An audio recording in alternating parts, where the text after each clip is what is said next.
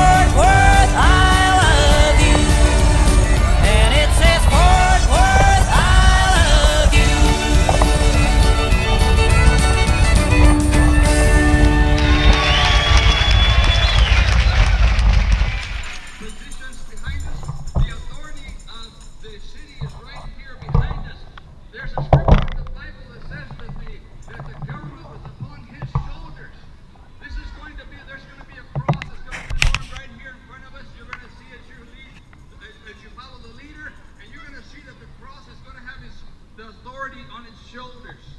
Here is the authority of Jesus Christ right here in the church. There's the authority of all the civil courts and what have you. We could go into all kinds of uh, particulars, but we are the body of Christ and we're united and we're glad that you're here and you're here because God brought you